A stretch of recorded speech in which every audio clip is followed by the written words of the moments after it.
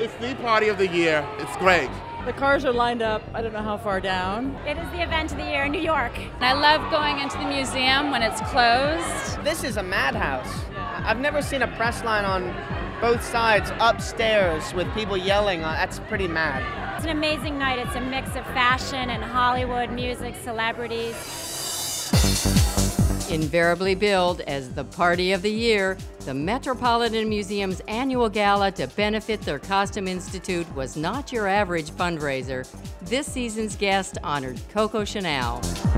She really was the first woman to understand how modern women then and now want to dress. She got women out of corsets and into cardigans and easy suits. For me, Chanel is like this legend who made clothes that were so beautiful and women looked so beautiful in them, and you saw them. You, people wore them. You'll find models wearing a Chanel jacket with jeans, or you'll find, you know, my grandmother loved to wear Chanel. She was really the first designer to put women in what we now consider a contemporary wardrobe. I think she was an amazing woman. She was intelligent, she had a lot of elegance, personal style. Virtually everything that is in the exhibit can be worn tonight. I think of um, trousers on women for the first time in history. I think of that guy, Karl Lagerfeld, with the ponytail and the glasses.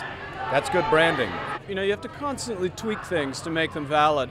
Karl's done an incredible job of that. He's made it cool and funky and fresh and modern always. He's totally immersed in the world of Chanel. Mr. Lagerfeld just is in a world of his own and a league of his own, and I mean anything he does just is amazing. So what can I, what else can you say? Commonly known as the Kaiser, Karl was on hand to survey the scene earlier in the day.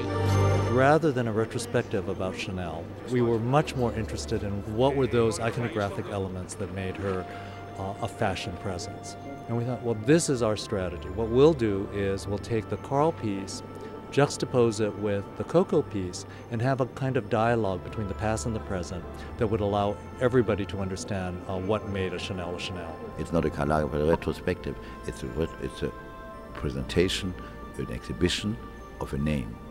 Whatever happened under that name during 100 years. That's an interesting thing.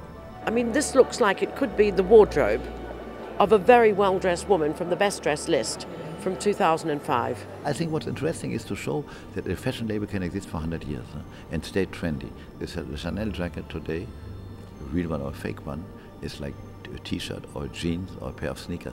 It's really a basic fashion item. It's a uniform you can play with. Mm -hmm. It's not a boring uniform. It goes with a lot of things. So. You know, you have to update things for the times we are living in. So that's not changing. Mm -hmm. That is a, a healthy evolution. If not, it's dead. You get the feeling that if Coco Chanel herself were alive right now, she'd be doing pretty much what Karl's doing.